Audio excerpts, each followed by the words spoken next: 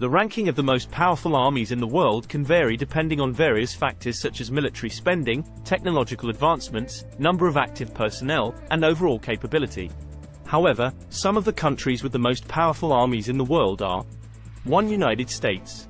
The United States has the most powerful military in the world, with a budget of over $700 billion and a large number of active personnel and advanced weaponry.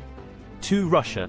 Russia has a strong military presence and advanced technology, with a budget of over $65 billion and a large number of active personnel.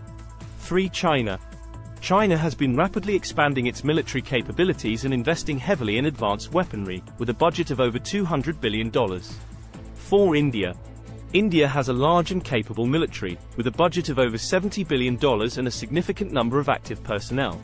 5. United Kingdom. The United Kingdom has a modern and well-equipped military, with a budget of over $50 billion and advanced technology. It is important to note that military power is not the only factor that determines a country's overall strength and influence in the world.